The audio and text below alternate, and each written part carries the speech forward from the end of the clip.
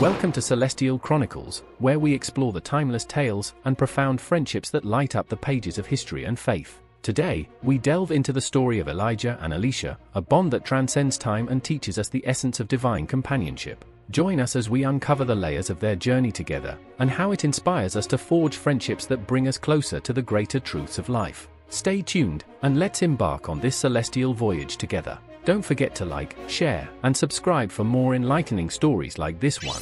The Bible, a book that's like a treasure chest, is packed with amazing tales about people and their relationships. It's not just about families or couples, but it also shines a light on friendships.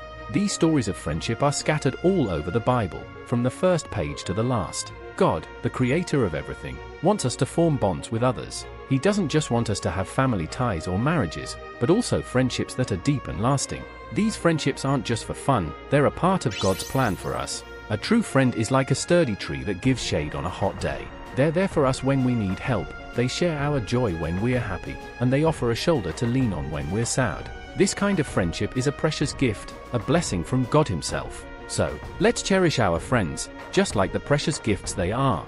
Once upon a time, in the sun-drenched fields of a farm, a young man named Elisha was hard at work. His hands were rough from the plow he held, and his brow was sweaty under the hot sun. Suddenly, out of nowhere, a stranger appeared. This was no ordinary man, but the prophet Elijah. With a swift motion, Elijah draped his prophet's cloak over Elisha. It was a symbolic gesture, a divine calling that Elisha immediately understood. Even though they were complete strangers, Elisha felt a powerful urge to follow Elijah. He knew in his heart that this was God's plan.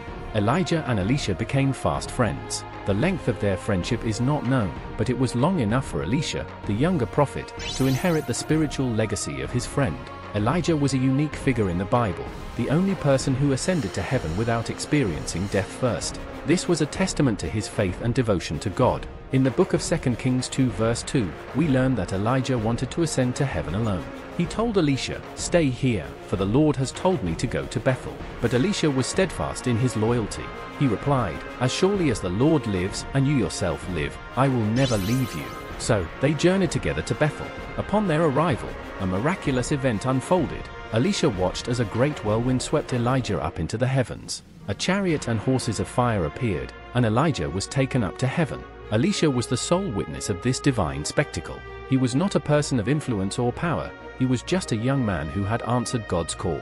Throughout his life, Elijah had faced many adversaries who doubted his legitimacy as a prophet of God. But when God chose to bring him to heaven without experiencing death, it was a divine vindication of his prophethood. Elisha, his faithful friend, was privileged to witness this moment. He was there to testify to God's mighty power and the blessings bestowed upon Elijah. Elisha's unwavering loyalty to Elijah is a testament to the power of friendship. He did not let Elijah go to Bethel alone, showing that friends stand by each other in times of need.